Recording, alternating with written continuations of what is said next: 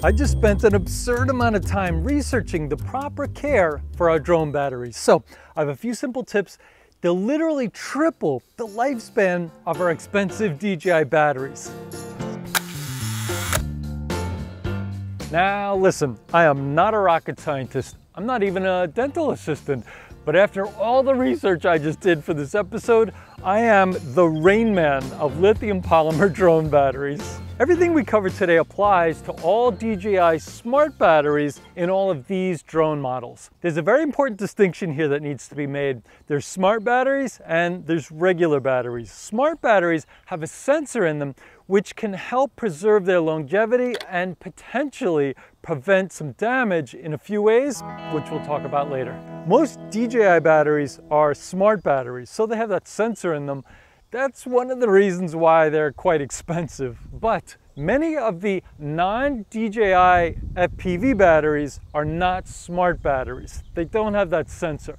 So for today's episode, we're only going to discuss smart batteries from DJI and how we can greatly prolong their lifespan. So let's get started. It's important to note here that all of the data that I got for this episode, I got directly from DJI. So uh, I'm not sharing anything that was like rumors or opinions in chat rooms or Reddit threads. It's all right from the manufacturer.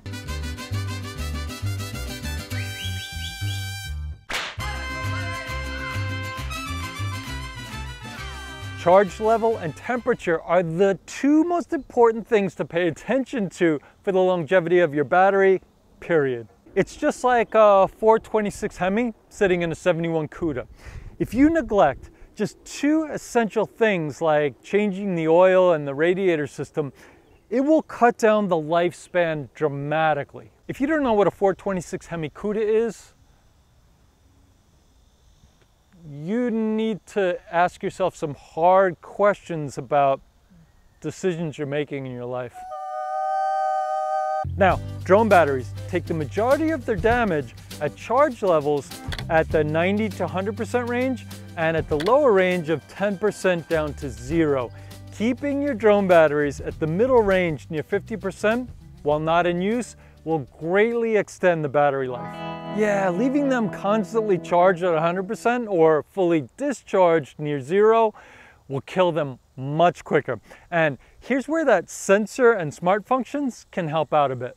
DJI's intelligent flight battery system ensures that the batteries are charged and discharged efficiently and safely, they can prolong the lifespan a bit and reduce the risk of some damage. But that does not mean that the sensor takes care of everything, not even close.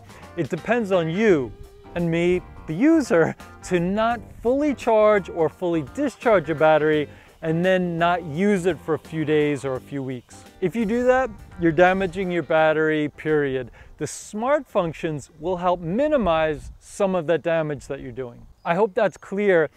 The smart sensor is kind of like a fire sprinkler system in a house. When there's a fire, damage is already being done. The sprinkler system can hopefully minimize some of that fire damage. The house can still burn to the ground even with a proper fire sprinkler system. It's the same with the sensor in the DJI smart batteries. The smart functions can help minimize damage. But if you do a few small things wrong, you're still cutting the lifespan of your expensive batteries by half or more. So just keep your drone batteries at about a 50% charge level when not in use.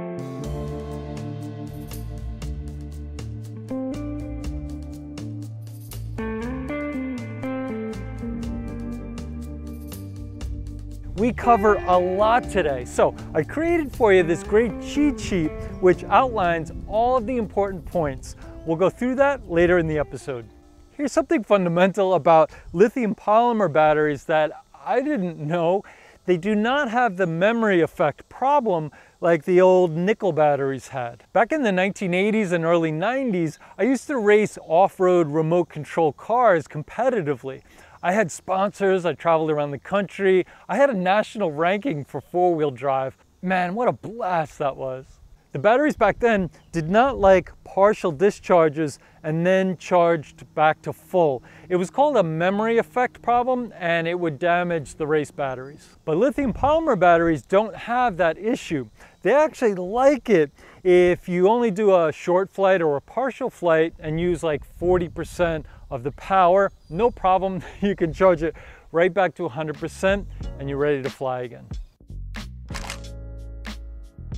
Okay, so you're excited. You're going flying tomorrow. You need to charge all your batteries. Do not connect your batteries to the charger and then come back much later in the day or in the next morning to unplug them. The DJI chargers are supposed to stop charging at 100%, but anomalies do happen and there are examples of this damaging the LiPo batteries. For example, if one of the cells in the pack has a much higher voltage than the others, it could overcharge and damage the cell or the whole pack, but more on that voltage difference later. So if you know it roughly takes two hours to fully charge a pack, set a timer on your phone to remind you to go back and unplug it after it's fully charged. So the bottom line they say is don't let the battery sit all day or overnight on charge and rely on the auto shut off function. And for the love of whiskey, do not use a non-DJI brand chargers on your DJI batteries. I didn't know just how major that was until I did my research here. The DJI chargers work specifically with the sensors in those DJI smart batteries and it provides damage protection which includes overcharging, undercharging, and thermal regulation. So it's highly encouraged, no off-brand quick chargers, no parallel hub chargers instead of the DJI sequential hub charger. Yeah, keeping these batteries healthy is just like keeping your body healthy.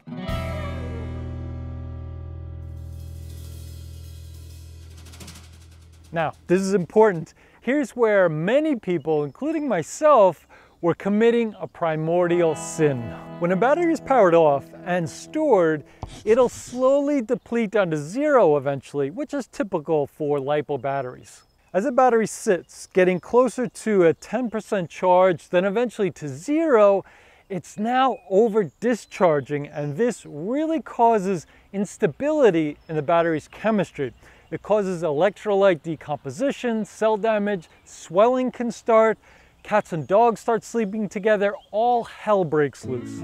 Not very bueno. So to prevent this over discharge damage, just keep them at around a 50% charge when not in use. And for long-term non-use, DJI recommends store it at around 50% charge, then remember to do a full charge and then discharge cycle at least once every three months for long-term non-use storage.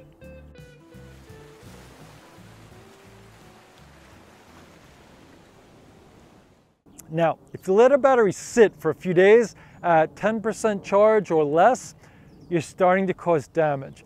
So to help minimize some of that damage from this over discharge state, DJI created a, a, smart feature and it's called the hibernation mode. Hibernation mode is DJI's way to protect the very delicate lithium polymer chemistry during that over discharge state. DJI says just keep it on the charger long enough to wake it from this hibernation mode and to make sure you're monitoring it closely during that. Damage is still happening, but the smart functions are working to minimize it. So avoid letting your battery sit for too long with anything less than like a 20% charge. Lithium polymer battery fires are more common than I thought, now it's less common in the smart LiPo batteries to catch fire because of those safety features. LiPo battery fires produce their own oxygen, so you can't stomp it out, you can't pour water on it. Here's a LiPo battery burning underwater. It's producing its own oxygen from the combustion. You need a fire extinguisher designed for chemical fires. I found this small chemical fire extinguisher on Amazon I ordered mine. I put a link down below if you want to check that out, along with some of the other fire safety products for our hobby.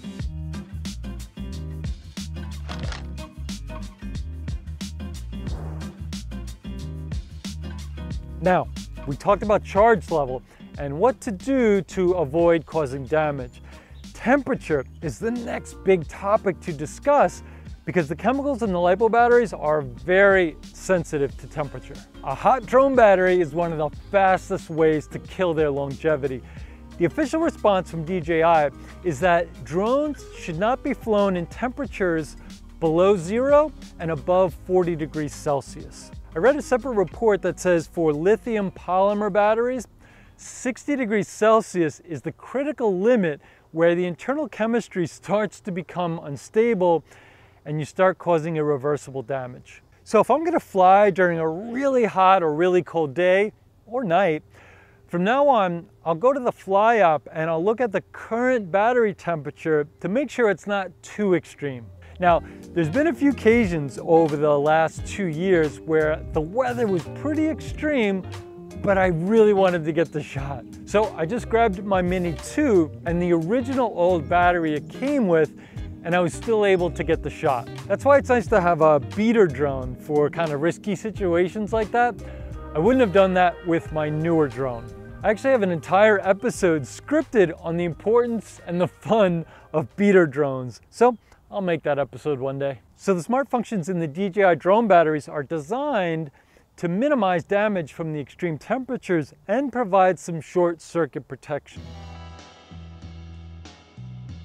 The common tip when flying in super cold conditions is to keep all of your batteries close to your skin underneath all of your warm coats. Some guys use those hand warmers, but just be careful you don't get the batteries too hot. So what you can do is put those hand warmers in a really thick sock. That way it'll still radiate heat, but that thick sock will prevent it from getting too hot. And when you do a battery swap in freezing temperatures, Make sure you put the spent battery also close to your skin in an inner pocket to keep it warm. You do not want to take out a just used warm battery and then put it outside somewhere in the freezing cold.